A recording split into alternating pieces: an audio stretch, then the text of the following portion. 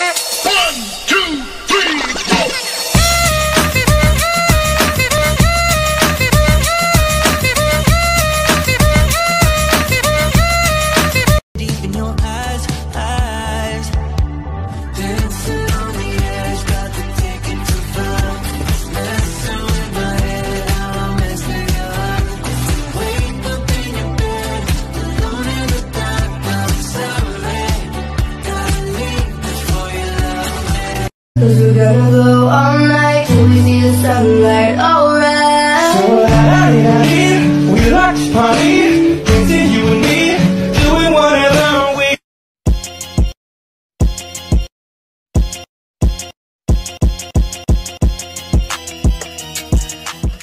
Iba talaga pag tumatanda na tayo eh, no?